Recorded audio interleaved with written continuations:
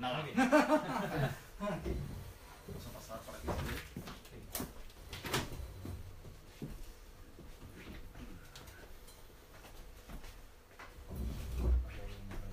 aquí debajo del libro. Igual.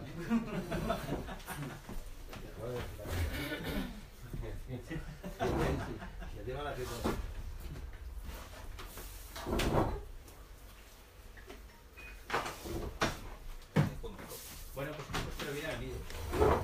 Muy buenas tardes. Buenas. Muchas gracias por haber venido aquí. Muchas gracias a Héctor por cedernos este espacio en, en la librería Ícaro, librería de referencia aquí en, en Segovia.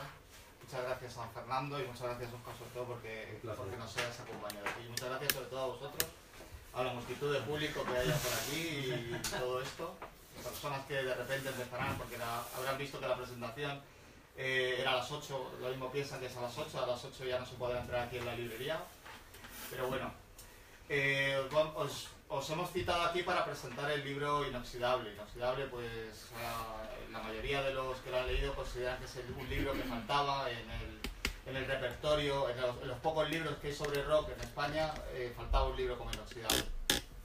Lo ha escrito además Fernando, que Fernando es, un, es doctor en, en historia, ciencias de la música, fue crítico musical, eh, trabaja en la and Hard, Rockstar, Bell Magazine o Red, Red Hard Heavy. También fue el organizador de las famosas jornadas de heavy metal en, en la Universidad Complutense, que estamos retomando, que estamos intentando a ver que, si las podemos retomar y, y ver si podemos hacer algo. Escribió también su libro más conocido, Espíritus Rebeldes, eh, Conversaciones con Mago de Oz, hasta la fecha, ¿verdad? Y es el autor de todas las entradas referentes a, a España en el diccionario de heavy metal latino y, vamos, una, una eminencia ¿no? en este mundo del heavy metal. Y yo creo que, que él, eh, si quieres, puedes contar un poquito de qué va, cómo has estructurado tu libro y todo esto. Sí. Bueno, el libro surge primero porque era mi tesis doctoral. Yo hice his- Historia y Ciencia de la Música, que es una carrera, lo que viene siendo musicología en el conservatorio, pero lo hice en la universidad.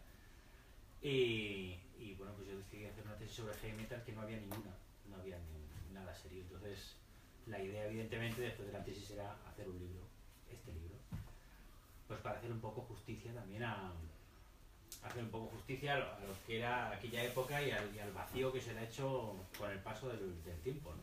Hoy en día se pregunta sobre la música de España a principios de los 80, todo el mundo te inventa la movida como si fuera lo único que pasó y había muchas más cosas.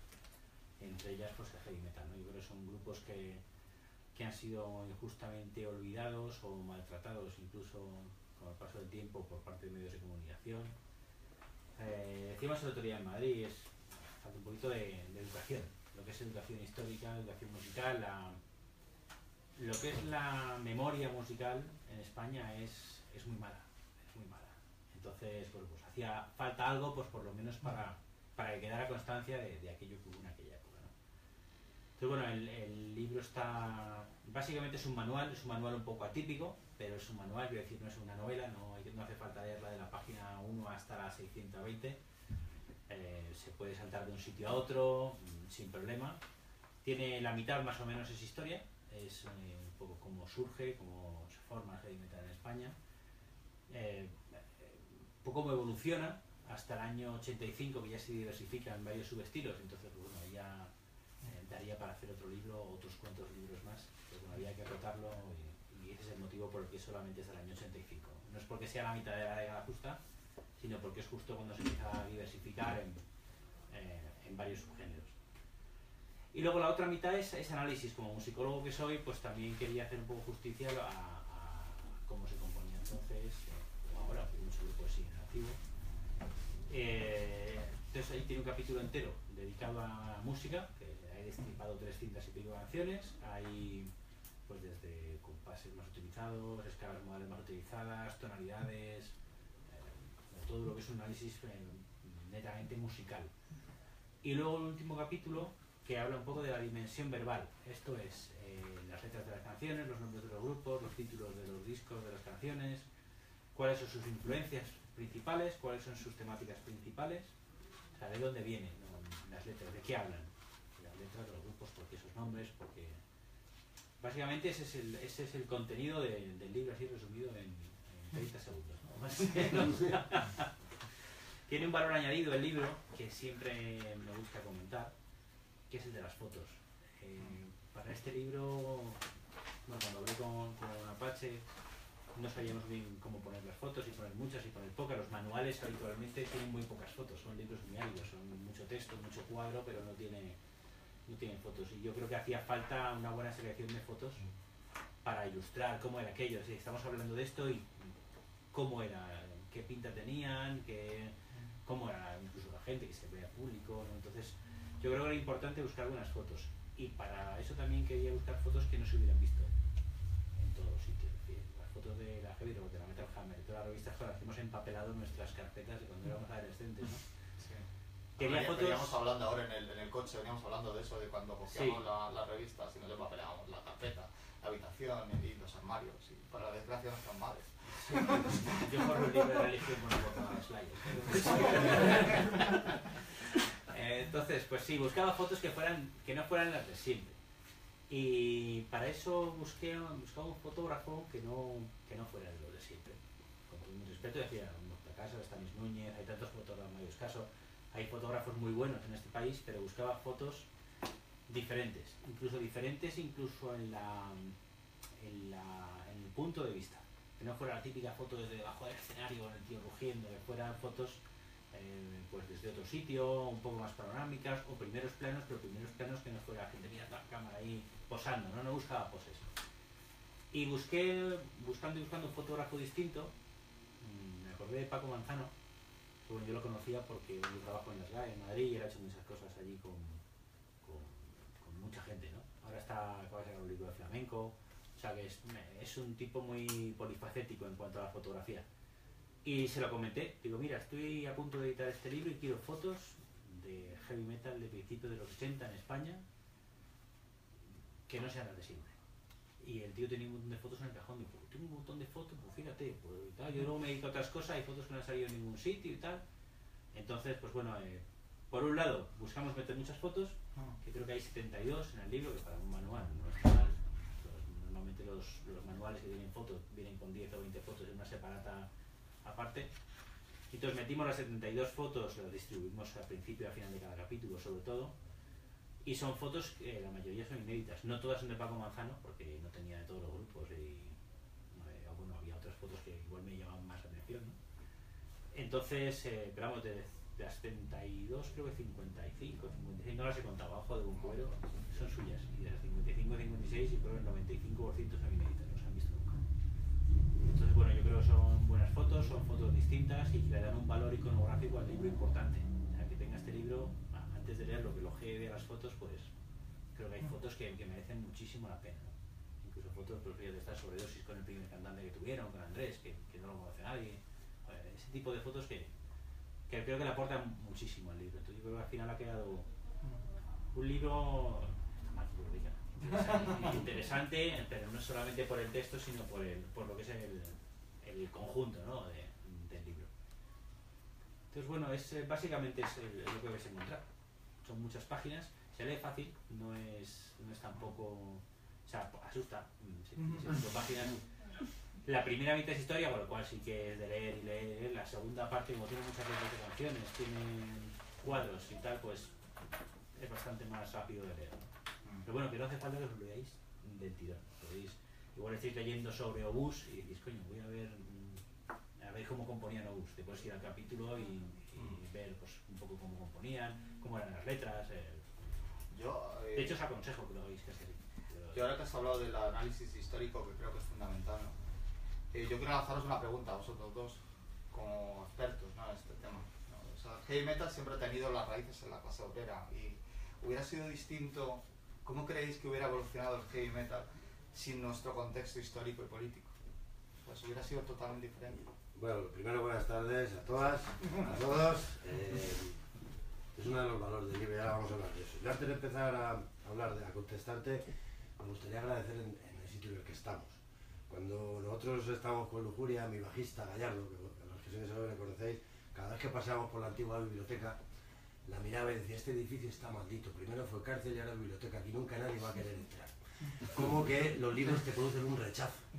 Y sin embargo nos hemos encontrado en una librería donde el libro no te mira por encima del hombro, sino que te mira como un amigo y está deseando que hables de él, hables de ellos y estés a gusto. ¿no? Y yo de momento estoy a gustísimo en este entorno, que esto no es el edificio maldito que definía mi bajista cuando veía la biblioteca de Segovia. ¿no? Em, estamos en la época del ebook, estamos en la época del Facebook, estamos en esa época y no nos damos cuenta que aquí tenemos una cosa que es mucho más manejable, como lo describía él, y, que aquí tenemos lo que es, podría ser un grupo de WhatsApp, un grupo de Facebook, pero que lo vemos las caras, que nos podemos interrumpir, que nos puede preguntar, que, y esto no se tiene que perder. Este tipo de tertulias, el, venir otra vez a, acariciar un libro que en, un formato digital esto va a ser imposible, eh, no se puede perder. Entonces lo primero, mm, la enhorabuena a la librería porque estoy encantado de verla y la enhorabuena por el libro. Vamos con, con tu pregunta. A mí el, libro lo que me gusta precisamente, se lo estaba comentando en el poco rato que le he visto, es que explica muy bien el contexto histórico en el que nace el heavy metal. Eh, nos distinguimos del resto de Europa porque estamos con una dictadura durante, ya lo sabéis, durante más de 40 años. Y lo que, nace, mm, lo que nace de ahí es un movimiento de gente, primero que trata de esconderse cuando, cuando presenta los inicios y habla del rock progresivo, trata de esconderse de la censura la cultura de, la derecha en aquella época no era, muy, no era mucha, entonces cantando en inglés no sabían lo que cantabas. Y entonces eh, la censura no se enteraba de las letras que les decías.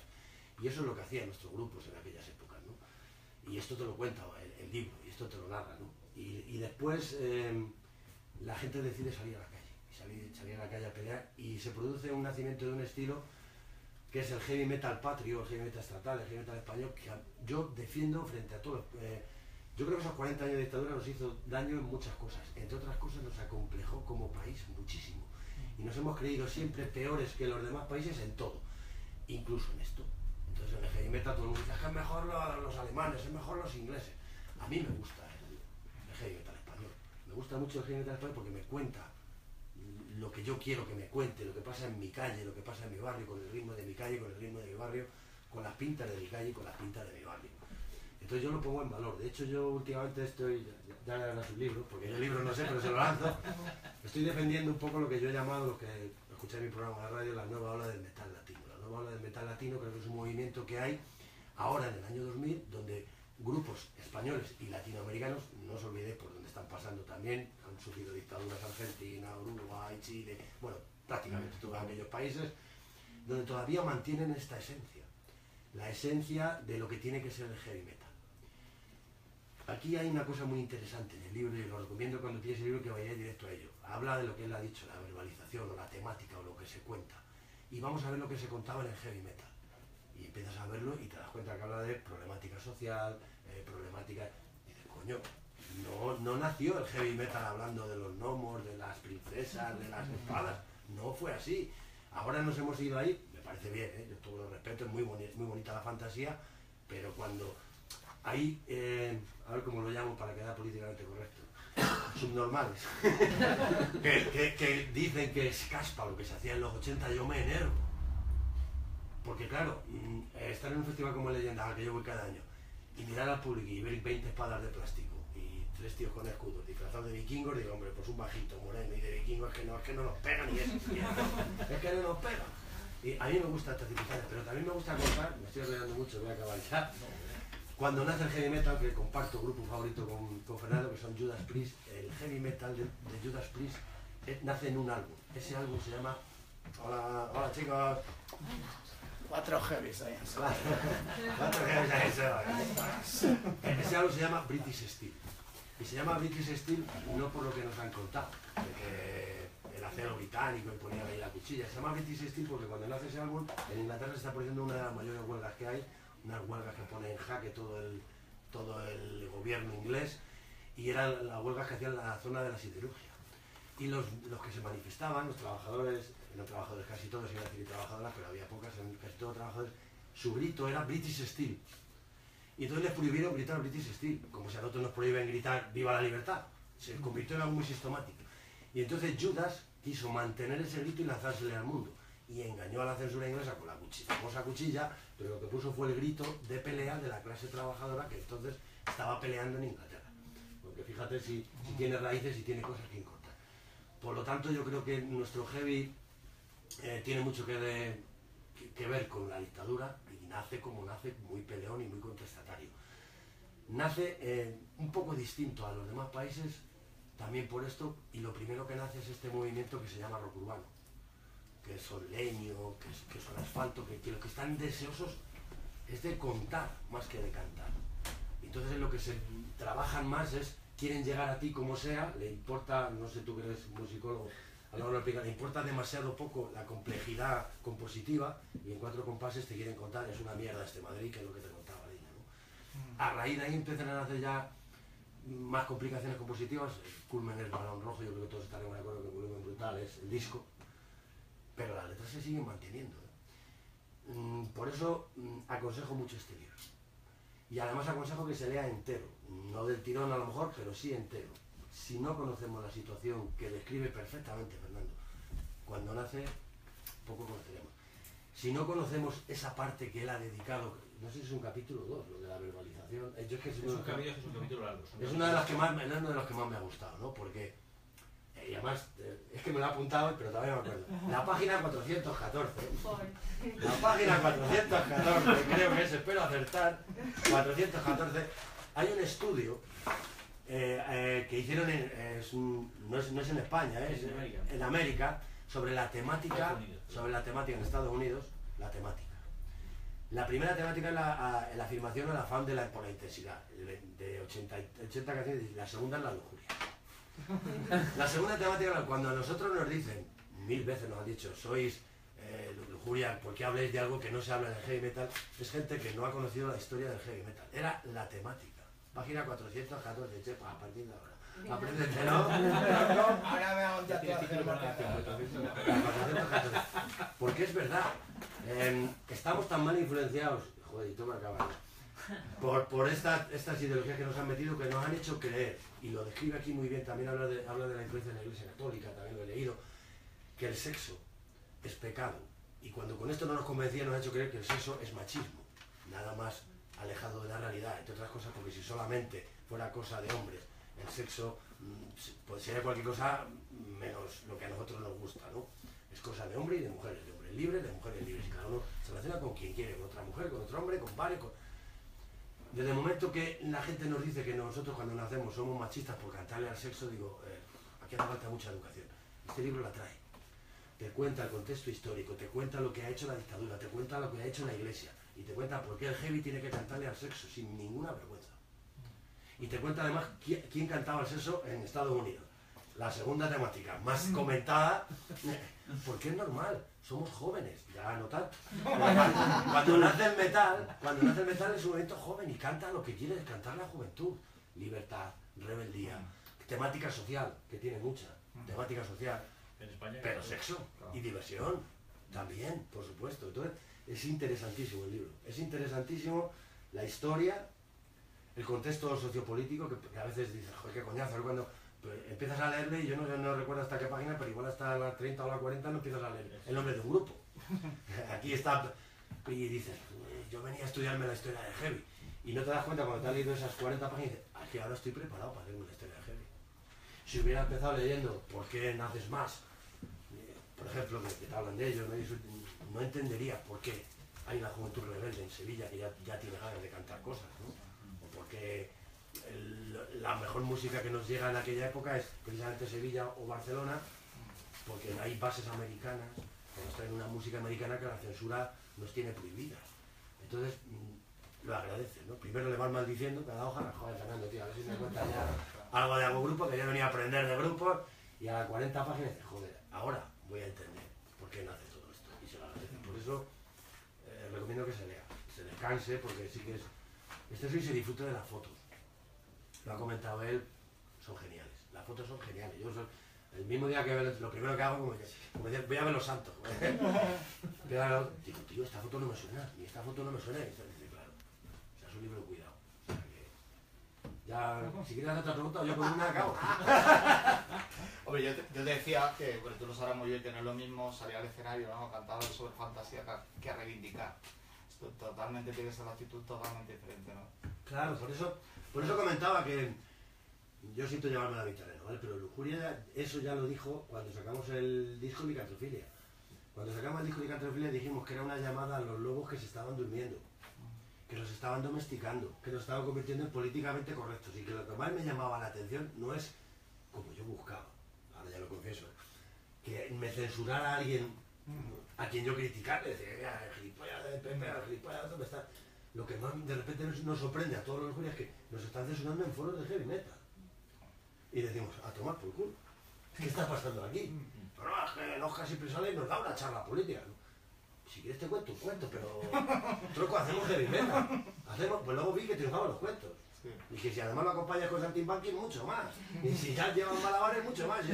Si llegan mil judas aquí, saque- se quita el cinto Halford y desmonta este escenario. ¿Qué es esto? ¿Qué es esto, no? ¿Sabes? Pero sí pasa, Y ¿eh? luego el disco que citas de Barón Rojo, tío, yo creo que lo ponemos ahora y sería totalmente de actualidad. O sea, las letras son totalmente actuales. Totalmente. Totalmente Sigo buscando un grupo que haga un pico de oro. Mm, ¿Qué, qué letra, macho? ¿Qué letra? mm, Por ejemplo, ¿no? que no está en el disco, pero que Sí. es un... Sí. De hecho, hay una- muchas reflexiones aquí, muchas letras, y hace esa reflexión, Fernando, el autor. O sea, ¿qué letra de esta? Si no os digo que es de los 80, no creéis que la han hecho hoy y que está en la actualidad. Bueno, te diríamos ninguno porque nadie habla de esto. pero, ¿qué es lo que defendemos? Nosotros seguimos defendiendo eso. Que, el heavy metal tiene que recuperar eso. Decía Mick Jagger, cuando empezaban los Rolling Stones, que el rock es la música que un hijo nunca podrá escuchar con un padre. Eso decía Mick. Han pasado los años y esos hijos ahora son padres. Y ahora sí pueden escuchar esa música. Y yo digo que el rock, y lo que se cuenta en este libro, es aquella música que solamente podrá escuchar un padre con su hijo si ese padre fue heavy en los 80. Claro. Y- y- pero si no, ¿eh? si no, si no eh, el heavy tiene que seguir. eh. Mira, es el único momento un poco álgido que disfrutamos nosotros. Cuando sale la Cookie Valenzuela, Curry Valenzuela criticando a los jueces, digo, ya es hora. Ya hora, que no molestábamos a nadie con todo lo que estábamos diciendo. Sí, Bueno, todas las realidades son distintas. Fernando, ¿por qué? Vamos a, a cortar un poquito. ¿Por qué una tesis sobre, sobre heavy metal, no? O sea, eh, el mercado anglosajón tiene muchos libros sobre estudio de rock, ¿no? Pero aquí en España escasea. ¿Es necesario una tesis sobre este heavy ¿La metal? respuesta rápida o la corta? No, la larga. Es decir, la respuesta corta es por mis cojones. O sea, básicamente. ¿Por qué hace una tesis sobre heavy metal? Porque nadie lo ha hecho. Y parece una afirmación un poco idiota, ¿no? Pero es importante. Es decir, ¿por qué coño hay miles de libros sobre la música del clasicismo, sobre la música barroca, sobre, yo sé, sobre los cantos de Siega en época de cría la cigarra? O sea, hay, hay libros, hay tesis doctorales sobre cosas de la punta pala, no uno. La música acuática, la guitarra, dice, ¿qué coño es esto? O sea, y hay así de libros. Dices, ¿por? Dices, de heavy metal, no hay ninguno. Dije, pues hay que hacer uno. A mí me gusta heavy metal. Soy musicólogo, soy músico además. Pues había que hacer una. O sea, yo creo que era importante porque alguna tenía que ser la primera. Y yo creo que es como todas las cosas. Cuando ya hay algo, la gente puede edificar encima. Y es la única manera de que crezcan. Los países anglosajones nos sacan, pues no sé cuántos años, pero 20 años yo creo de, De ventaja en cuanto a estudios sobre rock y heavy metal. ¿Y qué cara se le quedó a tu director de tesis cuando le, le planteaste que ibas a hacer esto? ¿no? A decir, yo voy a hacer una tesis sobre el heavy metal en España del 78 al 80. Se rieron, lo hablamos en el programa. Cuando yo, yo llego ya en musicología, yo me siento en mi, en mi silla como esta, y nos dicen, bueno, para sentarnos un poco, eh, ¿qué queréis hacer? ¿Qué aspiraciones tenéis? ¿Por qué estáis aquí? ¿Qué-?" Y cuando me toca a mí, yo lo dije, digo, yo voy a hacer la carrera, soy músico, me interesa esto, me gusta la investigación, me gusta la historia, y voy a hacer una tesis sobre heavy metal. Y se rieron todos. todos, desde los compañeros hasta, hasta los Bueno, ahí hay un libro nuestro, perdona que voy a hacer publicidad de la editorial, lo tienes por ahí que es el, el- Dentro del laberinto friki, en el que se analiza la, la cultura friki en España. Es un estudio, esto es una tesis, esto es una tesis doctoral.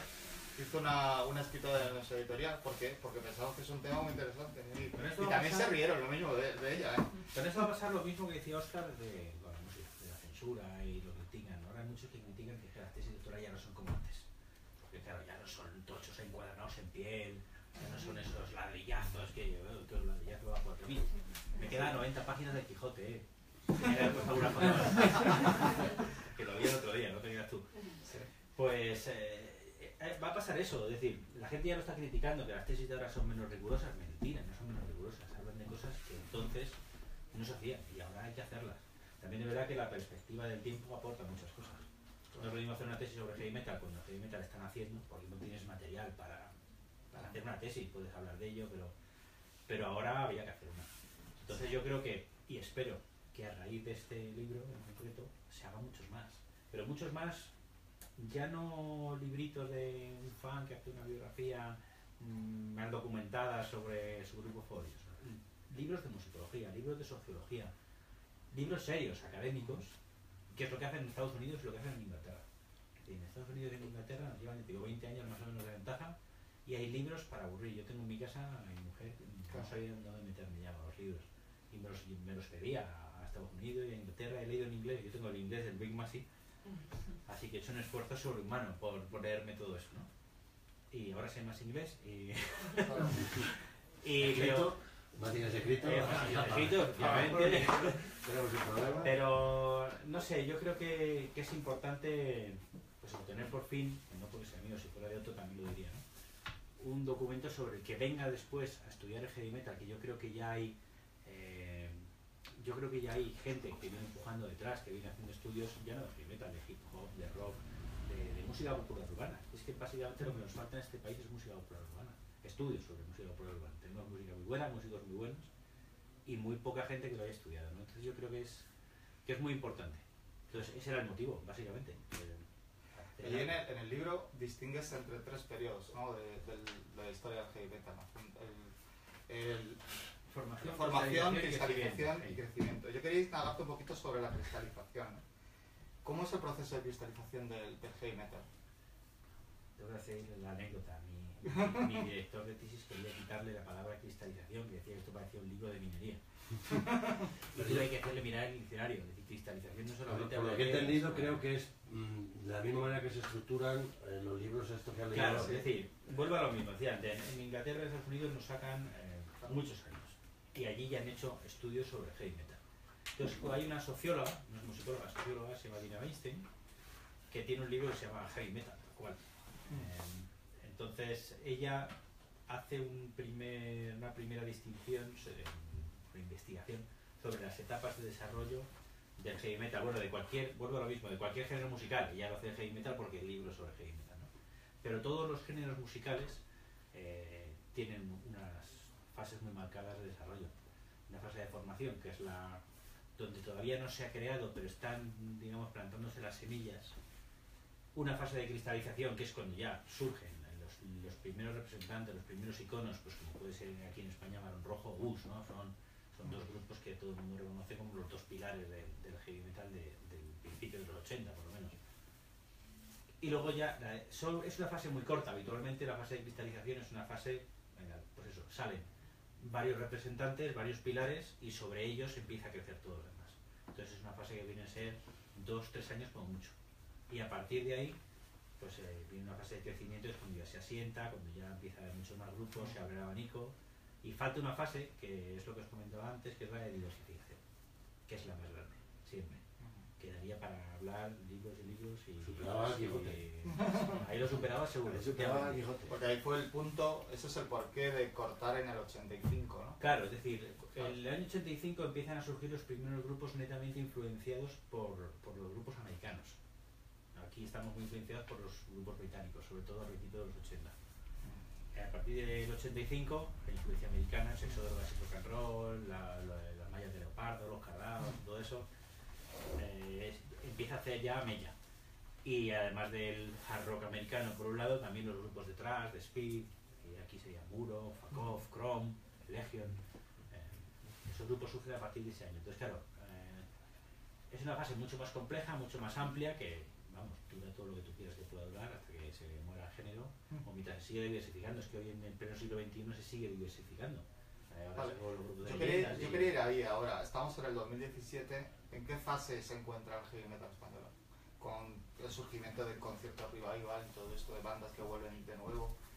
Bueno, eso es una moda. Yo creo que lo del revival, es decir, eh, Obús eh, sigue tocando, tuvieron un parón, pero sobre una compañía de 2000 han seguido tocando.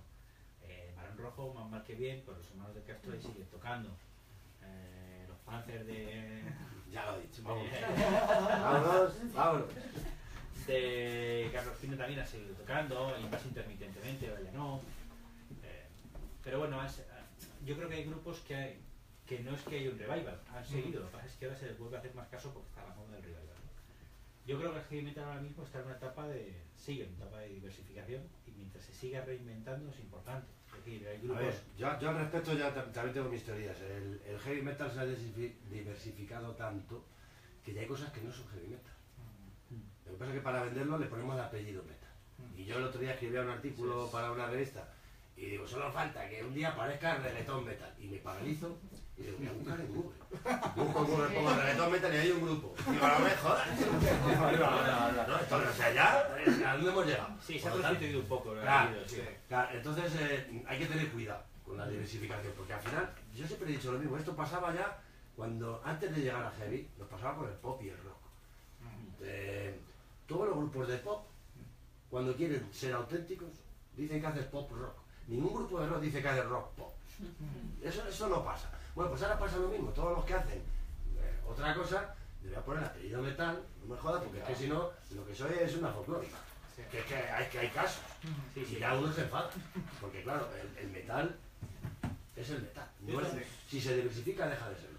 Y luego, en cuanto a la evolución, yo lo he definido, porque yo también he escrito algunas, no he llegado a libros, pero articulillos. ¿sí?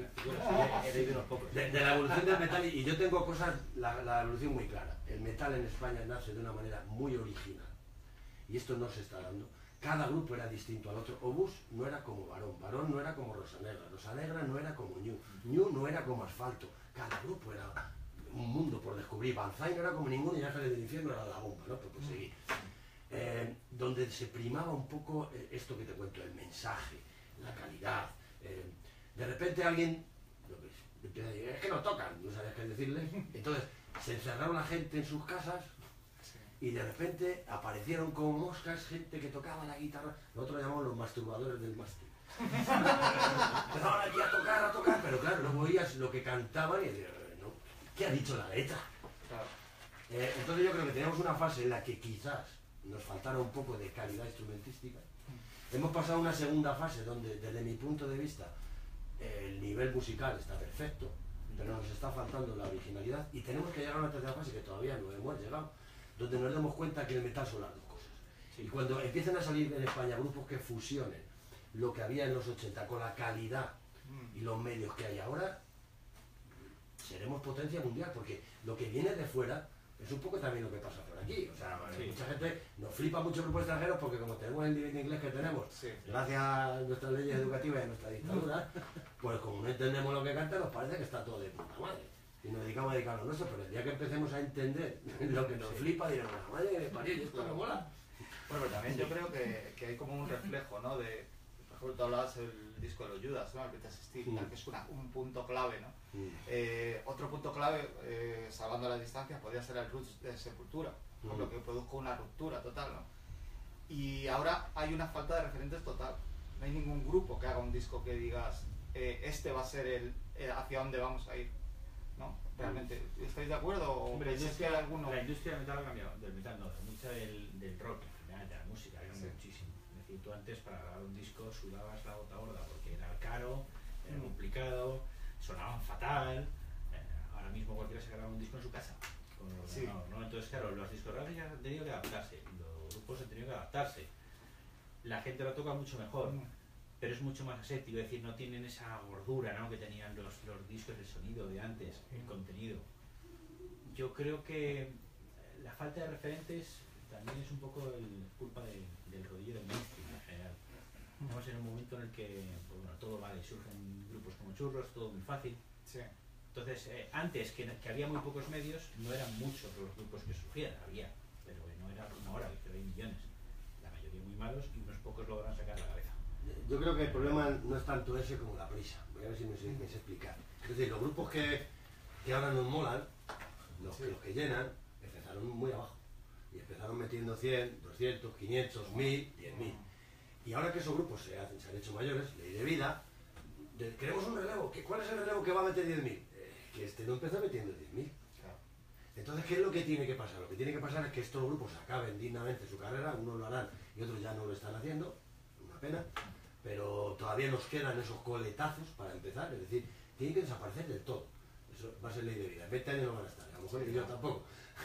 y mientras tanto, yo entiendo que hay gente que les quiere ver, gente joven que empieza y oye hablar de los Judas, yo quiero ver a los Judas, que nunca veía a los Judas. Yo, cada vez que veo a los Judas, digo, ¿esto lo que está viendo este?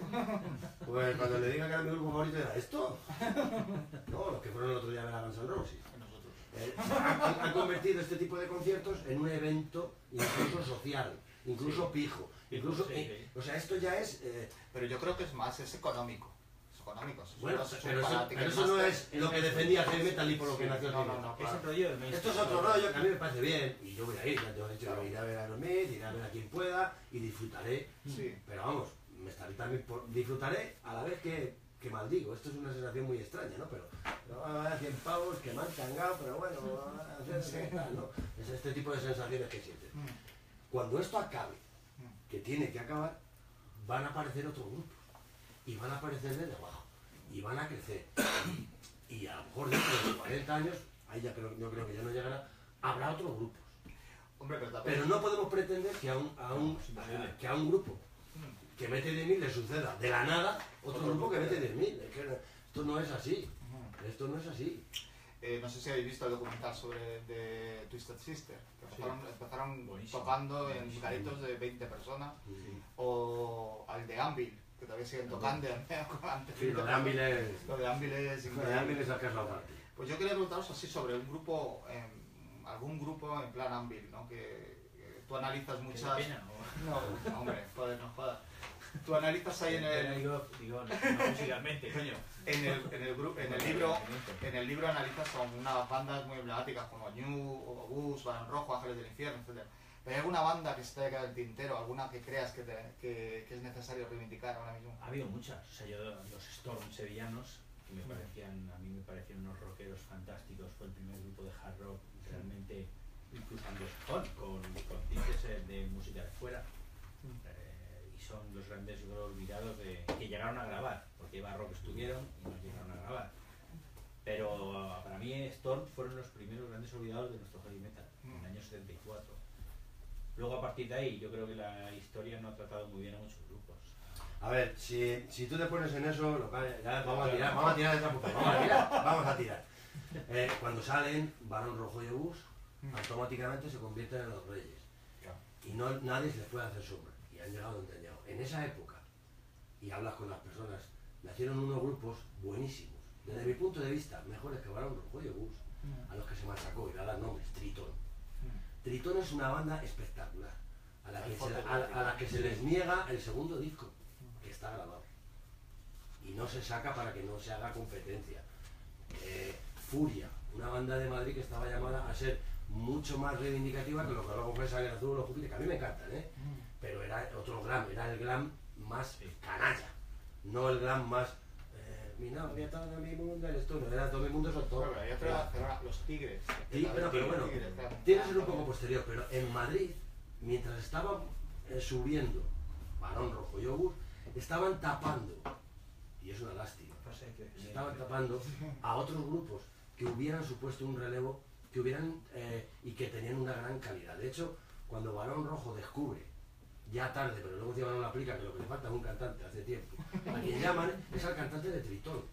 Tritón durante un tiempo fue cantante obús. Barón Rojo tuvo una formación de cinco componentes, no sé si mucha gente lo sabe. Durante un tiempo Barón Rojo tuvo cantante fr- frontal, que era el Maxi, el cantante de Tritón. Ese fue el al, que, al que acude. Y el bajista era José Luis Aragón, bajista de Tritón. O sea, a estos grupos a los que decían que no hay que sacarle discos, a los que acudían para reforzar el suyo. Es curioso, ¿no? como piezas, como los del WhatsApp. Es curioso, Sí, ¿no? es un poco. Goliath es un poco también esa banda. Goliath. Goliath es otra banda que también, que ahí eran los pipas de varón. Sí. Y el grupo, el primer disco de Goliath lo graba y lo produce eh, Carlos de Castro. Y cuando ve que está de puta madre, dice: el segundo te va a producir tu puta madre vas a sonar más porque ya me vais a hacer sopa. Y ahí se acabó la historia de Goliath. Supongo también, sobre eso te puedes Y no lo produce Fox. Hay mucho. Sobre eso estaban llamados a revolucionar el, el metal que ya se Más estaba. jóvenes cuando empezaron, ¿eh? Claro. Claro, lo- los, los pioneros nuestros no nacen heavies. vienen de otra parón, vienen de otras muchas bandas, tú mencionas algunas de ellas, Cafru, en toda esta época, que es, que es Koz, que es anterior, o Gus igual, ¿eh? eh Fortú estaba pululando por Araxes, estaba por Union Pacific, antes que eso. Sí, sí, pero antes estuvo por Araxes, Fortú, hay, hay una foto mítica de Fortú de los 70 en una discoteca que es para verla. Y que trae, después de cantar con uno de esos grupos progresivos, con su campana, hay un plan bohemio, y, era el rey, ahora es el rey del metal, ¿no? Y, y entonces era el intelectual. Era Fortú sí, pero con lo que se ligara, ese, ese era. Bueno, la pregunta polémica ahora sería que si ha habido algún personaje que haya frenado el, el, la subida de estos grupos. ¿o no? Sí, claro, eso. No, eh, eh, eso se lo es, claro, es claro. Eh, mira, yo hablando con Carlos Pina, un día, cantante de... Le dije, a ver a qué se debe, y me dice, la fama nuestra no se debe a que fuéramos gafes, se debe a que cuando nosotros empezamos éramos un poquito posterior.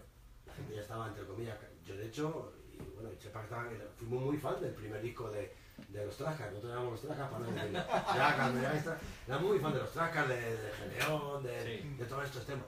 Y cada vez que tocaban, los llevaba el sello, para que empecemos a ver quién es el personaje que, que ha frenado, lo llevaba de teloneros.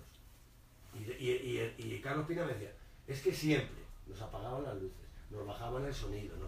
Nos interrumpían y claro, la gente me decía, joder, qué mala suerte tenéis, siempre se nos apaga el sonido. Y decía, no es mala suerte, es que me lo apagan. Hostia, es que me lo apagan. Ya el tío cabreado, Carlos Pina cabreado. Me lo contaba un día, me lo contó un día y dije, vamos a contar esto en la radio. Y dice, no. Pero ahora que aquí somos pocos, os lo cuento. Esto era así. Esto era así.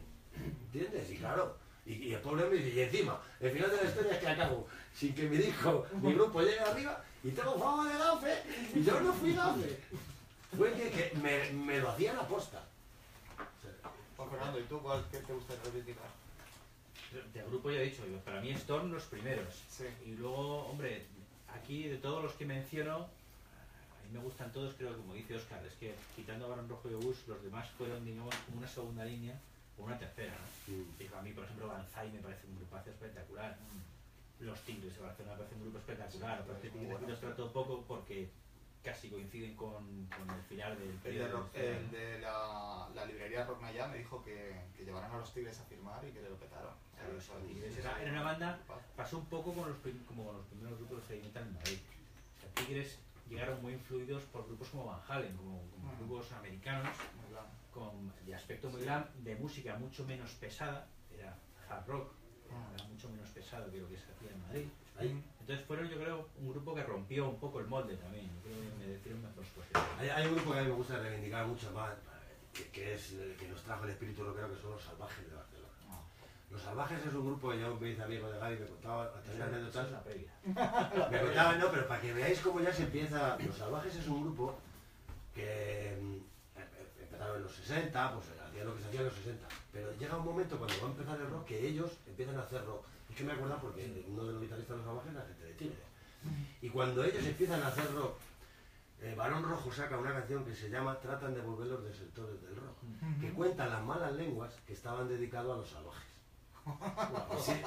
no, no, no, no, porque acto seguido los salvajes, que el Gaby, el cantante, ya tiene 70 años, pero yo cada vez que me junto con él me, me encanta charlar porque me cuenta sacaron un disco que se llama Rockero Prematuro no vale su duro.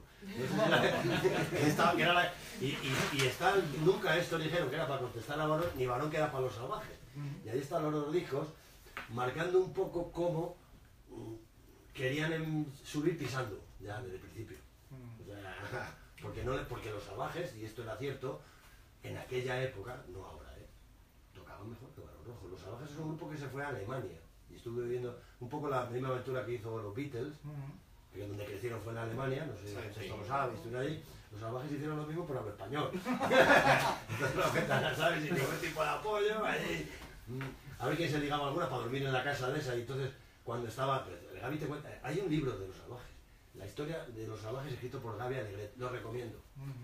te partes Dice, eh, además, él, que, avisando, me dice el tío, yo pensaba que no le iba a importar y me ha costado el divorcio, porque ha contado todo. todo, la cuenta todo, ¿no? El tío dice, oye, por qué te paras ahora ya con este tío, ¿no? Es un cañón el tío. Y contaba eso, que al que tenía más guapo del grupo le cagaban el ligarse de una, cuando iba a la casa de una, entraba toda la carrera y ya tenía para dormir. en la casa donde había. Bueno, mil Bueno. historias de. Muy buenas, ¿no? Eran supervivientes, tío. Los Sí. entonces eran supervivientes. Ese libro le recomiendo también, ¿eh? Eh, Fernando, en tu libro, el de, el de Espíritus Salvajes, hablas de Rebeldes, de rebeldes. rebeldes, hablas de, del surgimiento, de cómo se vivió el movimiento en, en Sevilla, en Barcelona, en Madrid. Yo quería preguntarle a Oscar cómo se vivió fuera, en las provincias. Yo lo que le he comentado antes a, a Fernando, digo, ay, ay, me faltan dos o tres nombres, ¿te acuerdas que te lo he dicho? Sí. Aunque también había su cierto movimiento. En León, por ejemplo, hay un grupo que se Guay, que yo me fui hasta Astorga a conocerlos, porque a mí me gusta, y estuve pasando un día con ellos, y me invitaron a comer y tal, y te contaban esas historias, bueno, y si alguna te cuento para que veas cómo se vivía en la provincia, que son de flipar, ¿no? Eh, también quiero, hay un grupo que me preguntaba, que el grupo reivindicamos, Bucéfalo, que son de Mérida, que son extremeños, estos empezaron antes llamándose Hecatombe. Hay un nombre más heavy que ese, por favor. Hecatombe. Y este me decía a mí, eh, el Carliño, que, que, es- que nosotros fuimos heavy antes que el heavy naciera. Y así nos iba, que por eso te, te cuento la anécdota. No, iba- nos llevaban a los Hecatombe, nos llevaban allá al pueblo y nos tenían para después de la verbena, ya para los jóvenes, pero quedaba igual. Porque nosotros salíamos, allí le dábamos al rollo, llegaban los modos del pueblo, la garrota, pero como te lo cuento, la garrota que la faja ya puesto de aquellos años, ¿eh? Parece mentira que no estamos hablando de los 40, estamos hablando de los 70. 70. Y de unos garrotazos allí corriendo con los equipos. Lo que, nos ha pasado de todo, sí, sí, sí. Eh, este, este chaval de, de Guay me contaba prácticamente lo mismo, que ellos iban por León, por los pueblos de León, eh, pues llegaban a un sitio ala, a tocar. ¿Y dónde enchufamos? Es que esto se enchufa. Ah, les hacían coger de las cables que había por el pueblo la luz para que la luz Y tocando, pueblo. tocando encima de carretas. O sea, era, dice, era más veces. Dice, ir, este te- lo resumía, ir siempre íbamos en el coche del padre de no sé quién, de uno del grupo. de Europa.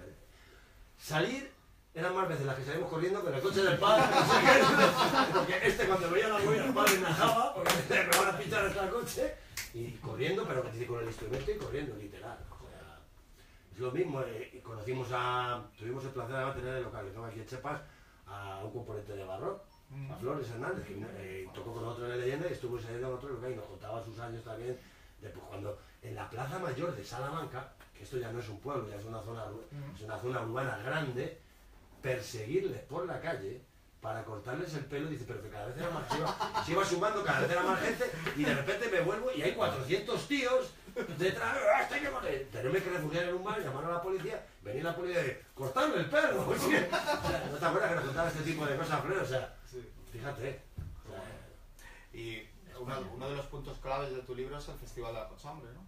Hombre, yo creo que es el festival que ha pasado a la, a- al bestiario, ocupa el número uno del bestiario Sí. del rock nacional. O sea, cuando, cuando se monta el primer gran festival de rock, que por fin había grupos de rock, era un festival progresivo, era un Mm. festival de rock, que se llamó 15 horas de música pop, eh, porque el rock entonces no estaba muy bien visto todavía. Entonces fue La Voz de Castilla, que está la portada en- en- entera en el libro puesta, tituló aquel Nos invade la cochambre, pensando que iba a ser, pues eso, un poco meter más leña al fuego y fue, tuvo el efecto contrario, ¿no? Yo creo que la- los rockeros cogieron la cochambre Sí. como el grito de guerra, como el. Sí, como estos sí. somos la Cochambre. De hecho, Cochambre. bueno, aquí lo cuenta el libro. De hecho, Tilbury hizo una canción, la Cochambre. Se llama la cochambre, la cochambre llegó, efectivamente.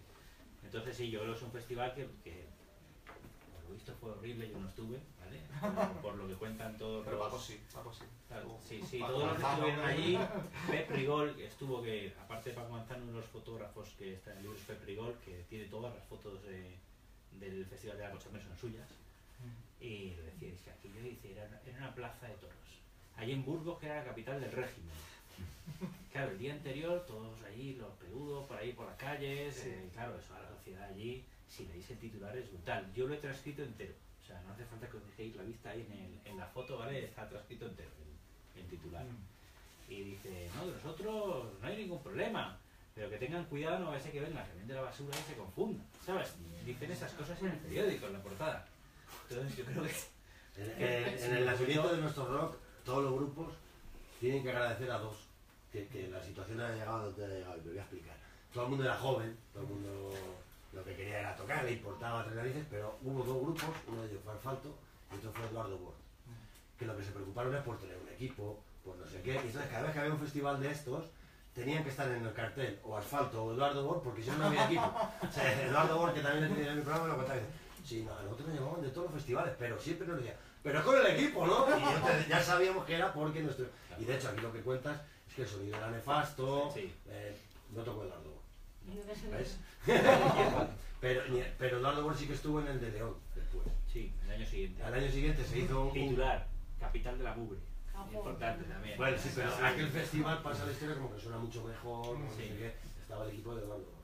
Ah, bueno. Pues eh, eh, Asfalto, es- Julio Castejón le conocemos todo lo que es, siempre ha sido... Sí. Y entonces él lo primero que se preocupó era tener... Y luego venía, por ejemplo, eso cuando le dije como que se caga la moneda, dice, ya, ya sí. Pero es que de es que siempre venía, ¡Ah, joder, todo el equipo! siempre tenía que dejar todo el equipo a Yu, todo el equipo a Gus, todo- eran los que se preocupaban. Y el, en Madrid, el famoso este concierto que, se, que está grabado, el de No va la marcha, ese fue por otro, que fue por el que, el que después fue jefe de la SGAE, Teddy Bautista. Teddy Bautista, que también se preocupaba mucho de los aparatos de los equipos, y era el equipo de Teddy Bautista el que luego que tocaron todos, creo. Sí, y, y yo creo que se lo cargaron, porque ahí Y se cargaron el festival de aquel que fue en Vista Alegre, invasión de campo. Sí. Bueno, saltaron la mayoría, saltaron las vallas y fue... Bueno, una de Lo, las lo que es cosas... sintomático es que el, el rock ha empezado en España y en el mundo siempre desde, una, desde, un, desde un festival que en el fondo luego fue una- un desastre, porque Sí. Woodstock ha pasado la historia como Sí. el, el, el- aquello fueron tres años, tres días de barbizar. De hecho es una cosa Sí, sí. que en el libro lo Y en. España es desde el Festival de Burgos Sí. que también aquello fue, pues lo describe muy bien. Yo a la gente me la contaba, había dos tipos de entrada, la, cara, la, vara- la barata y la cara, todo el mundo compró la barata, la cara en el ruedas y que el ruedo estaba vacío, y los grupos no tenían público y todo el público tenía ya la grada y ahí estaba la cocha, venga, tronco". Y aquello era, pues diciendo, madre mía, qué festivales con, equipos que no sonaban, en fin. Sí, pues el, el libro lo vais a ver porque normalmente estos, los libros de rock y tal tiran mucho de biografías de grupos y tal. Yo he procurado centrarme mucho precisamente en festivales o conciertos como principio de un periodo.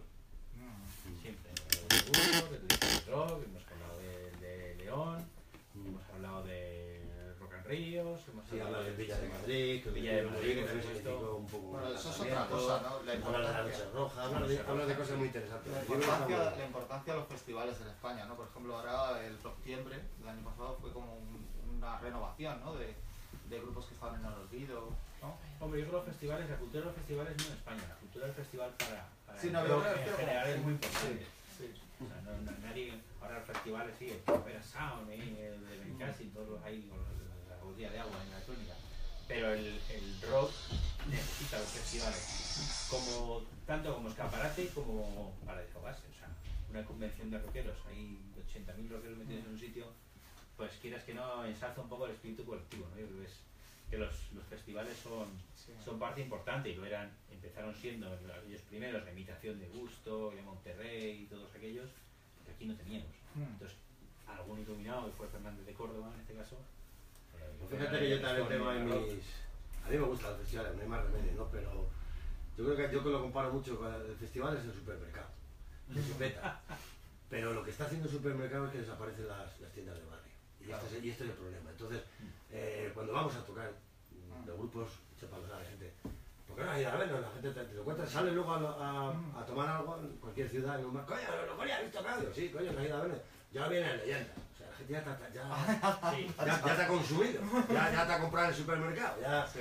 Entonces, claro, necesitamos ahora los festivales porque mm, pasamos por unas épocas en que necesitamos reafirmarnos. El metal somos 5.000. Mis cojones, somos 5.000 un día.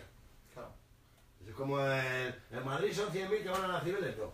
En Madrid son los que cada día van a cabo el Atleti o el Barcelona. O sea, a, a lo grande salimos todos. Hemos ganado toda la, la Champions, hemos ganado toda la Liga. Coño, el otro día, a los que sean futboleros, o sea, que había subido el Tarragona y ahí se había montado una polémica muy grande. Girona, En Girona, perdona, porque un jugador iba grabando con el vídeo y soltaba, tenía cristal, el público no lo veía, pero lo estaba grabando con y salió.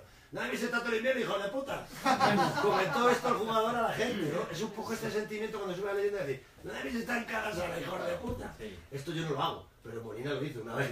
Molina sí lo hace. Pero Molina sale, muchos años, muchos años, ¿dónde habéis estado? Se acaba el concierto y ya está, pero te desahogas, ¿no? Entonces, pero también te gusta. La verdad es que eh, una vez al año si te lo tomas como volver a ver, a, claro, como cuando vas a ver a los amigos que ya has hecho Claro. de Almería, de Murcia, de Galicia, de Barcelona, te lo tomas como eso y mola.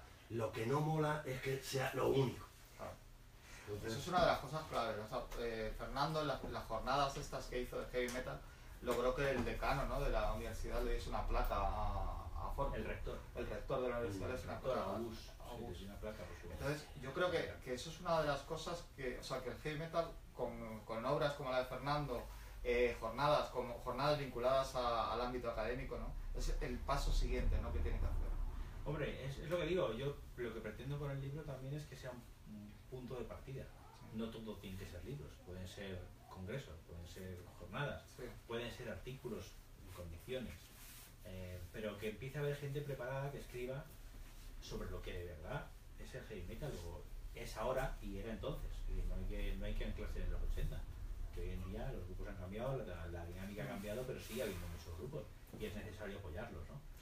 Entonces yo creo que hace falta mucha gente que de cualquier manera posible, pero con rigor, con, con cabeza, con, con los datos en la mano, no, no inventándose fantasías, empecemos a hacer eh, cosas sobre el rock, que tenga visibilidad. El problema del rock es que de- lo enterraron los medios de comunicación y no hemos sabido desenterrarlo. Entonces hay que poquito a poco ir picando hasta volver a sacar la cabeza. Bueno, sí, el otro día lo decía Mariscal en la presentación que tuvimos ahí en, en, en. Sí, sí. Él decía que, claro, que al heavy lo enterró el PSOE, ¿sabes? Porque se hizo amigo y al final lo enterró. Literalmente fue los que tenían que apoyarlo, los traicionaron. Fueron las palabras. eh, yo- eso, es- eso se puede decir, pero claro, se puede decir porque mm, a lo mejor lo pervirtió primero. Es decir, el heavy se autoenterró. El PSOE cuando empezó a nacer en este país, lo que le ofrecían a los grupos es toma un montón de conciertos claro, claro, claro. y me apoya a mí, entonces nos malacostumbramos. Al heavy no le enterró el PSOE. Es como, eh, a ver cómo lo explico, si a mí tú me das una tarta con un veneno, me puedes matar tú, me puedo morir yo, porque sabiendo que hay un veneno me como la tarta. Mm, Si en ese momento hubiéramos aprendido a vivir sin subvenciones, luego no hubiéramos muerto porque no hay subvenciones. Pero fue muy goloso cogerlas al principio. Que no digo que yo no lo hubiera hecho si hubiera estado con la edad de esa gente y que me dicen eh, dos millones de pesetas, Puerto Gas, arriba, ¿sabes? Claro. No te digo que no lo hubiera hecho, pero eso lo estamos pagando. Y eso no es el PSOE. Eso es que todas las personas que cogen un camino con el tiempo. Claro. Entonces, para, para eso sirven estas cosas. Si alguien esto lo cuenta en un libro, un chaval de 20 años puede leerlo. Y puede leer, hostias, no voy a... eh, dos veces con la misma piedra. Sí. Si alguien te ha señalado la piedra, eres un normal. Entonces, yo creo que la gente que tenemos esta edad que tenemos, lo que, esto es pintar piedras de amarillo, para que la gente las esquive. Y estos libros son- esa función la que tienen que hacer, para que el heavy siga vivo y no se repita. No o sea, que dentro de 10 años vuelvan a convencernos, vivamos de subvenciones y cuando desaparece la subvención te mueres. Mm. Ahora, si tú has sabido vivir sin ellas, cuando no existen, dices, si llevo sin ellas toda la vida.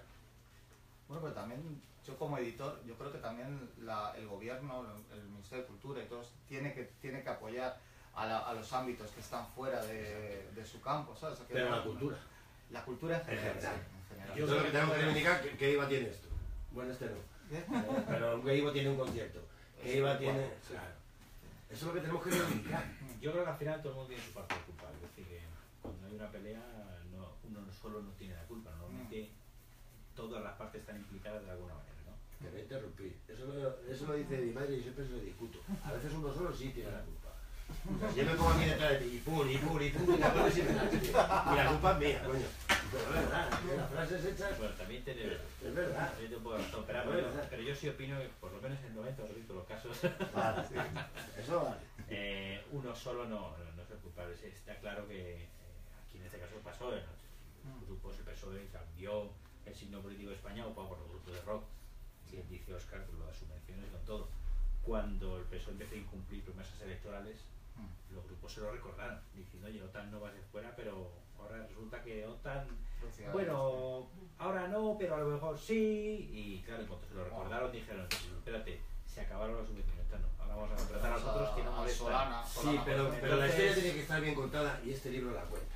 Cuando, Claro, este libro, claro. cuando cierras, cuando cierras 1985, hablas del concierto más multitudinario que hubo en Madrid. Palacio de Camões, Paseo de Camões. Pasó de Camões. Partido Socialista. Tierno Galván. Luego no es verdad. Luego no es verdad lo que contan. El, el problema es que cuando se cuentan cosas de manera oral de unos a otros, acaban siendo una verdad. Cuando alguien te lo escribe bien, escucha alguien te dice, pero eso es que dejó de apoyar, cógete el libro de Fernando, vete al final. El último concierto grande de heavy metal 1985, que yo en ese sí estuve, tengo una anécdota de, de Azucena buenísima, no la cuento, que, eh, buenísima, petado de gente. Por tanto sí se apoyaba. Lo que pasa es que era- a lo mejor lo que queríamos era más. El concierto más, de hecho las crónicas cuentan que era imposible saber la gente que hubo, porque se desbordaron todas las previsiones. La gente, ya les cuento la de Azucena, la gente, era tanta la gente que había que ya no había manera de ver el concierto. Y empezaron la gente a subirse a los árboles, a la farola y tal. Entonces había unos árboles a una distancia, estaba cantando Santa en ese momento, había pues a lo mejor 60 o 70 heavies ahí en árbol. Claro, la rama. Y de repente a mitad del concierto que estaba cantando cena, ¡puah! Canta lo que dice. Luego dice que no somos maduros, mirad cómo maduran los heavies. Que ya caen del árbol. Digo, y está la tío, puro. Mirad cómo maduran los heavies, cómo caen del árbol. Era algo así, tío. Tampoco les pasará porque caía sobre gente. Tampoco se mataron, ¿sabes? Tranquilo. Pero era así, tío. Oye, ¿vosotros creéis que se reconocerá en, en el tiempo ya, la historia, el papel de personajes como Mariscal, tú, por ejemplo, Mariano. ¿Creéis que llegarán a... o sea, Hay que reconocerlo. que la gente lo reconocerá? Vamos a ver, aquí en España tenemos una cosa. No reconocer de verle por la calle y decir, Sí, este sí. No de En reconocimiento. España tenemos un deporte muy malo, que es el de, el de la envidia. Sí. Es decir, aquí vuelvo a lo mismo, la memoria musical es muy mala, eh, enseguida criticamos a este porque ahora es más famoso que el otro, ¿no? Pero yo creo que hay que reconocer las cosas a quien hay que reconocerlas. Si el mariscal, todo esto seguramente no hubiera pasado o no hubiera pasado de esta manera. Entonces hay que, hay que reconocerle su papel. Fue el que fundó el, el sello por el que pasaron todos los grandes poppers del, del de la época. Fue el primer DJ como DJ de rock que hubo en España. eh, estuvo metido en la programación de la sala MM y fue el de los primeros que trajo a grupos internacionales a tocar a Madrid. Eh, estuvo de consejero, de medio socio de los estudios Mediterráneo de Ibiza, por donde los grupos que no pasaron por Chapa se los llevó a Ibiza para grabar allí. Estuvo de consejero de muchos sellos que no eran de Chapa ni de los, de los grupos de Ibiza, que estuvo en la sombra mamoneando por muchos sitios. Quiero decir, ha hecho la heavy rock, que parece que no, pero es la revista más longeva, nos guste no, es la de, la de cabecera que ha tenido rock en este país. Entonces, eh, luego la gente podrá decir lo que quiera, eh, no me voy a meter, ¿no? Pero hay que reconocerlo, igual que a Tri Bautista hay que reconocer que fuera Yo te voy a dar el pequeño, contrapunto. Igual que- tú dices que en España el deporte, uno de los deportes de la envidia, hay otro. Y es la loga innecesaria. Yo lo que, lo que espero es que no me toque a mí, porque a toda esa gente les conozco, pero que la historia cuente la historia completa. Sí, evidentemente. La- y la historia completa se cuenta con lo bien, las cosas que se hizo bien y con las cosas que se hicieron mal. Que algunas cosas os he contado ya. Que hay, según a quien preguntes, pregunta a Tritón, te contarán una, una película muy distinta. Si queremos ser justos con la historia, es mejor que pase el tiempo para que no haya daños colaterales ni personales y alguien cuente la historia de verdad. La historia de verdad, algunos las- la- nos toca sufrirlas, ¿eh? Porque mantenerte auténtico supone eh, que mientras alguien toca en 20 festivales hay un grupo en el que yo canto que toca en dos. Porque hemos cantado algunas verdades a algunos festivales, en su propio escenario. Entonces no me gustaría que luego en la historia dejara aquello, este, este festival era de puta madre y, y llevaba a todos los grupos. No, llevaba a todos los grupos Sí. ¿Sabes? Entonces, este hizo mucho porque hizo esto, sí, pero otras cosas no. Y eso lo tiene que contar, la historia tiene que quedar siempre bien contada. La historia, tú que eres musicólogo y, y- y la, la historia la escriben los, los- los vencedores. Sí, Mm, pues a la primera historia sí. Luego llega el momento de los vencidos. Siempre llega el momento. Y luego llega el momento de la verdad. Y ahí se contará todo. Ahora vamos a contar la historia, todavía estamos aquí los personajes, ¿no? Los vencedores. Y todos vamos a ser que amigos, y este que, que de cosas hizo, y este también, y este también. Había un personaje, no daré su nombre por respeto, pero el Chepa lo sabe porque lo ha subido conmigo, al que le llamábamos el egipcio. Porque él ponía por aquí y te pinchaba por aquí. Y este señor y yo hemos ido con 50.000 pesetas desde Segovia, cuando empezábamos como lujuria, con nuestra ilusión, a pagar para sonar. Esto hay que ¿Eh? Y, y- y más sí, muchas más cosas, ¿no? Entonces, esto también tiene que contarse, Y sigue pasando. ¿sí? para que la gente lo sepa también. Y. Pero claro, esto pasa porque mm, nosotros no conocíamos a nadie. Con el libro ha pasado. Nosotros no conocíamos a nadie, pero si hubiera, si hubiera escrito un libro de yo pagué, yo pagué, yo pagué, y no me la leo ese libro, hacemos piña y digo, yo no. Entonces hay que hacer piña, hay que unificar el movimiento. Y hay que, ¿Sabes quién es el protagonista de- del movimiento de heavy metal? Los músicos. Y siempre que nos preguntan, ¿habrá un día en que se, se hará lo bueno que fue Mariscal, lo bueno que fue Mariano, lo, bu- lo bueno que fue el pirata? ¡Coño! ¿Y los músicos no estaban ahí? ¿Quién tocaba? ¿Quién tocaba? Pues es que este era el primero que tuvo un programa, ya, pero ponía mi música. Y la del otro y la del otro. ¿Sabes lo que te digo? Pero es el, ¡eh, Mariscal! ¡Mira, Oscar! No, tendrá que ser Oscar, mira, Mariscal, ¿no? No, es verdad. Es verdad. Entonces, eh, se tiene que hacer, mm, se tiene que madurar más. Hay otras cosas con Para- rigor. para que- para que se cuente-. Sí, las cosas tienen que estar bien contadas. Las cosas tienen que estar bien contadas. Aquí se hicieron cosas muy bien y cosas muy mal. Y por eso también, ten- igual que echamos culpa a unas cosas porque el público no va, porque la otra no apoya, también hay que. Porque quien rigió este movimiento lo rigió y lo rige. Lo único que ha permanecido invariable desde que empezó el heavy metal son las cabezas. Mariscal, Pirata, y ya no está Mariano García porque ha fallecido. Y para descansar porque era amigo mío además, ¿no? Aunque no hizo todo bien. Una cosa no quita la otra, ¿no? Eso es lo que va a cambiar. Lo demás sí. Valor, uh, Saratoga, Furia, eh, Arrael, y, y siempre los mismos. Eh, hombre, Le- eh, este país, para evolucionar, necesita otros periodistas, ya, urgentemente. Sin desprestigiar a esto, yo por ejemplo estoy en, en la casa de Mariscal, haciendo mi programa y encantado con él. Pero necesitamos más. Una renovación. es Todo, cualquier, cualquier sociedad no necesita solo un periódico. Esto es evidente, ¿no? Pues no puede ser que este movimiento solo tenga una revista. No puede ser. Porque es esa o nada. Si tú imaginas que en este, aquí en España solo funcionaba la razón, íbamos de cojones.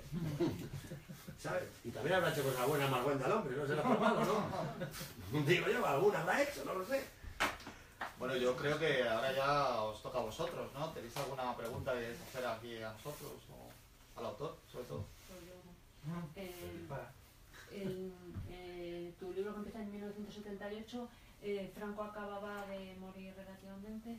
¿Cómo llegaban las influencias inglesas? ¿Cómo llegaban aquí? O sea, ¿por Pues- qué canales? ¿Por qué medios? Llegaban, llegaron antes de que de 68. es Sí, pero un poco lo de la que hablabas tú cuando era un poco Sí. como oculto, ¿no? Un poco así. O sea, el primer capítulo es todo anterior a 78, aunque el título engaña un poco, ¿vale? Pero yo creo que las casas hay que, hay que empezar por los cimientos, que es lo que hablábamos un poquito antes también. El libro se ha cogido a juego muy lento, porque ha sido mucho tiempo de investigación. Entonces, el primer capítulo lo he dedicado a la, a la paleontología rockera. Y en España, eh, pues hablo de muchos grupos y de muchas circunstancias, que es por, por dónde surge. Precisamente solo se implanta la semilla, ¿no? Esa formación de, del heavy metal y del rock en general en España. Fueron fundamentales aquí en, en España las bases aéreas americanas, por ejemplo. O sea, son, un- son una parte importantísima, en- sobre todo la de Morón y la de Rota, en, ahí en Andalucía. Sevilla. Eh, Sevilla, sí. Entonces, bueno, las dos tenían, cada una tenía sus particularidades, ¿no? Si hablas con Gonzalo García Pelayo, que es otro de los grandes responsables de que el rock aflorara en este país, te lo cuenta. Las bases militares, cuando con la autarquía en España, aquí estamos aislados completamente, de repente los americanos se dieron cuenta de que España estaba en un sitio estratégico, estratégico, de para, para, para la Guerra Fría contra los rusos. Entonces dijeron, coño, si le levantamos un poco aquí el, cerco a España con estas condiciones. Entonces consiguieron hacer varias bases, es decir, en Rota, en Morón, la de San Pablo, en Madrid en la de Torrejón, eh, en todas había, mm, había sus particularidades, ¿no? ¿Por qué digo Morón y Rota? Pues fundamentalmente eh, porque, por ejemplo, la de Morón y la de San Pablo, ya creo que no existe, eh, los, los militares eh, tenían su, sus emisoras de radio. Las emisoras de radio, claro, no, se quedaban en la valla las ondas, entonces salían por fuera. Pero además había otra cosa, y es que los militares vivían en un barrio de Sevilla. Es decir, no, no vivían en la base. Con lo cual la radio tenía que llegar hasta cubrir el barrio de los americanos en Sevilla. Entonces no vivían solo americanos, vivían mu- muchos españoles, muchos sevillanos allí. Entonces ahí empezaron a coger onda, claro, las radios americanas pinchaban lo que se pinchaba allí, era rock and roll, que aquí estaba prohibidísimo, por lo menos mm, tapado, pero ellos eran americanos, estaban por encima de, de la ley de aquí. Entonces la, la radio fue muy importantísima, pero luego había otra cosa, y es que se producían intercambios. Es decir, muchos grupos de, de aquí entraban dentro para entretener a las tropas o directamente hacían intercambio de, mira, voy a tocar, eh, y yo decía, pues me tocáis flamenco, que te gustaba mucho el flamenco. Entonces luego muchos americanos salían a estudiar flamenco fuera. Y a cambio, pues eh, toma un disco, te he traído un disco de, de allí de América o de Estados Unidos, lo que está sonando esto o esto. La derrota era más de intercambio de, de discos, por ejemplo, eso notaba Gonzalo García Pelayo. Y luego hacían falta visionarios, es decir, Gonzalo García Pelayo en Sevilla fue el, el pionero que dijo, voy a abrir un bar de rock. Cuando era inviable, ¿no? O por no decir imposible. El tío abrió el pub Don Gonzalo, que estaba en un suburbio ahí, en el barrio de los Remedios, pero está en el centro de la ciudad, pero entonces pues no estaba tan en el centro, ¿no? Y cogía esos discos, que él iba personalmente a la base a, trapichear con los americanos, y los ponía en su grito. Entonces la gente empezó a saberlo, y los rockeros de la zona, pues quedaban todos en el Don Gonzalo. Y de allí surgieron los primeros grupos, los Bong, por ejemplo, los Max, esos grupos surgieron de allí. Cuando cerró el pub, pues como ya estaba hecha la base, pues ya quedaban en otros sitios, ¿no? Entonces, eh, ahí, por ahí un poco surgió en Madrid, pasaba igual con Torrejón. Bueno, las, las dos bases, digamos, potentes fueron Morón y Rota. Y el intercambio, y las radios, eh, todo este tipo de cosas. Y luego estaban los que podían viajar. Porque también había gente que se iba fuera de España, que fue una dictadura, pero Sí, que también. tenían pasta, pues se iban a estudiar a Inglaterra Sí. y venían con los discos debajo del brazo, venían con los Beatles, venían con, con cosas que aquí no se habían oído. Entonces llegaban aquí mucho antes de, de que entraran, digamos, oficialmente por el cauce legal, con toda la censura, portadas censuradas, las canciones censuradas. Aquí hay discos que algunos cuestan una fortuna, los que hay coleccionistas de toda decir.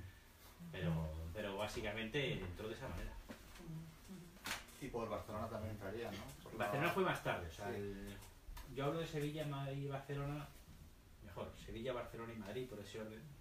La más ¿Por qué? americana entonces, ¿no? La, vamos, el, la música americana más. en este- El rock and roll, básicamente, porque luego, sin embargo, los grupos, los primeros grupos de rock duro tenían más influencia europea, pero es que eso ya fue Claro, de No era Sevilla. tanta la música americana, sino la música que un pueblo libre como el americano, comparado con el nuestro, ponía, que era el rock and roll del mundo. Eso es, entonces Era que americano la o pana inglés. eran los, eran Lo los que eran radios sin censura.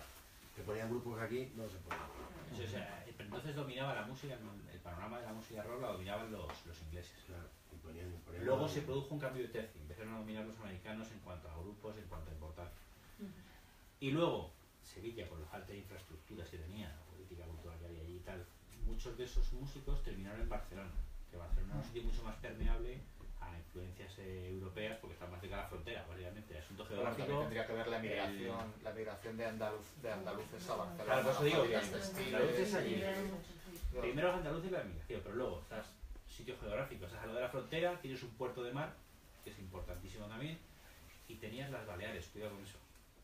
Que era un antro de hippies que no vean.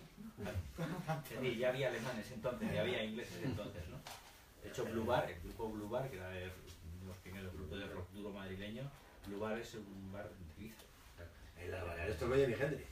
El, el bar todavía conserva intacto el techo donde estrelló la guitarra y se quedó en el bar. Jimi Hendrix y todavía lo conserva.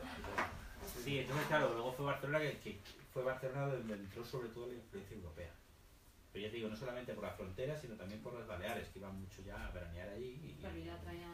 la psicodelia entró sobre todo por Barcelona, y por, Barcelona, vamos, por las Baleares y todo esto. Y luego ya llegó a Madrid, que Madrid era diferente. Madrid era la capital del régimen, que gestionaba de Madrid. Aquí era, estaba primero lejos de cualquier frontera, con lo cual ya era complicado. Eh, la situación político y social era muy distinta también. Aquí había muchos más palos. Aquí estaban, eh, estaban los duros, digamos, los grises, ¿no? Entonces, por eso el rock cuando surge en Madrid ya no es rock progresivo, ni influencias eh, de la India, exóticas y cosas de estas. El rock cuando sale en Madrid es un rock duro directamente. La temática de las letras es distinta, la forma de tocar es distinta. Era un rock casi de, no voy a decir protesta, es, era... Buscaba un poco, se notaban ya unas ansias de libertad que no había. Entonces, bueno, es un rock ya, pues eso, más duro, en, todos los sentidos, social y culturalmente. Así es un poco el, el recorrido que hace el rock Y por eso cuando el heavy metal empieza, es, es casi todo en Madrid. Porque cuando estalla en el año 78, 80 por ahí, eh, es cuando estaba Madrid en pleno auge. Sí, pero tú era más live, ¿no? Y... Claro, todo tiene un proceso. No, no, el heavy metal no surge nada. Entonces, claro, empieza con un poco de progresivo, la influencia psicodélica, y al final cuando llega aquí, por las circunstancias políticos sociales, Ya pero es como- muy importante entender el, el contexto. Aquí teníamos una dictadura que fuera no tenían. Sí. Entonces aquí, mientras fuera lo que perseguían, pues eran otro tipo de objetivos, aquí lo que se perseguía era la libertad, punto pelota. Y la libertad en un sistema que te está dando palos todo el día, pues eh, Bueno, aparte Te que, endurece, ¿no? aparte que el rock, de- el rock madrileño, el rock catalán y el, y el rock sevillano tenían unas características totalmente diferentes. sí, sí, son muy distintos. ¿sabes? Entonces, Y motivados por las influencias que tenían, que tenían de, de todo tipo, vamos. El flamenco, la canción y todo eso. sí, son tres ambientes muy distintos. Al final se explota Madrid y luego de Madrid vuelves a ir hacia afuera. Básicamente es el... Ha sido resumido muy rápido. Vale, sí, gracias. ¿Algo más por ahí? Pues nada, yo lo que yo os pediría como editor es que compréis el libro de Fernando y, sí, y así a los- nos hace feliz a los libreros y a, y a mí. Muy bien, un aplauso. para-